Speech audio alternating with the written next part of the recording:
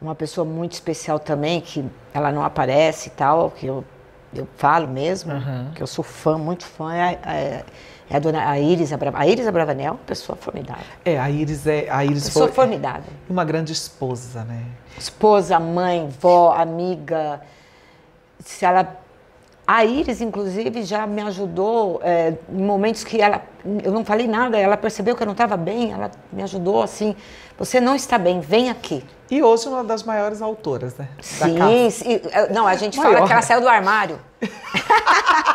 Nossa, igual a mim, Maísa. É, assim. é igual você, ela saiu do armário. Aí, Eu saí ela- do armário faz- desde pequenininha. Desde mas- pequenininha, né? Ela não, ela, ela, ela, a Iris saiu do armário quando ela escreveu a novela Revelação. É. Porque o senhor Silvio trancava ela em casa, dentro do armário, né? Pra cuidar das Uhum. crianças, cuidar dele e tudo. Aí, um dia, ele tava com um problema de...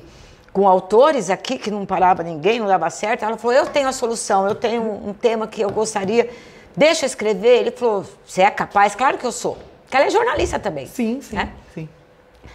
Aí ela fez o roteiro, ele gostou, né, a sinopse, enfim, foi muito rápido. Aí ela falou, mas eu saí do armário.